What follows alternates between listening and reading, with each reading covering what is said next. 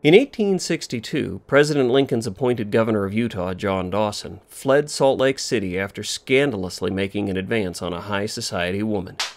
He was chased down and beaten up by some local ruffians, one of whom was later killed and buried by the Salt Lake sheriff. Later, when the dead man's family came to dig him up and move him to a different plot, it was discovered that he was naked in his grave.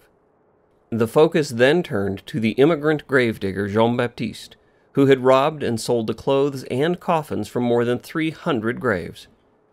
Baptiste pled guilty and spent some time in jail. But at the suggestion of Brigham Young, the word grave robber was tattooed on his forehead, and he was sentenced to be marooned on Fremont Island. It was the Miller family who had to transport him with their boat to their island and provide him with a cabin.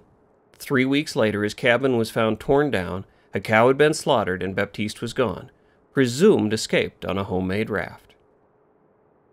Jean Baptiste was never heard from again, and his story remains a great mystery, especially as to why he was given such an unorthodox punishment. But I'm sure that the Miller family was glad to see him gone.